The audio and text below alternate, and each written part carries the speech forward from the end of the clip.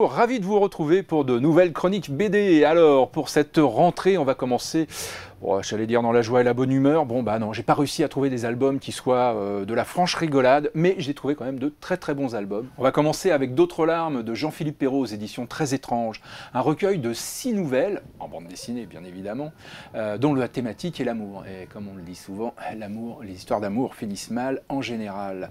Donc six nouvelles qui traitent de l'amour, du couple, de la rupture, du romantisme, de la passion, de la fureur et tutti quanti. La force d'écriture de Jean-Philippe Perrault au niveau des six histoires qu'il nous propose, c'est qu'avant la dernière case, on ne sait pas si on va blêmir, frémir ou avoir une petite note d'espoir.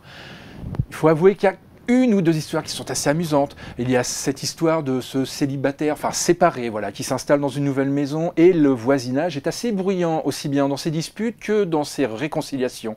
Donc ce qui amène quelques euh, situations fort cocasses.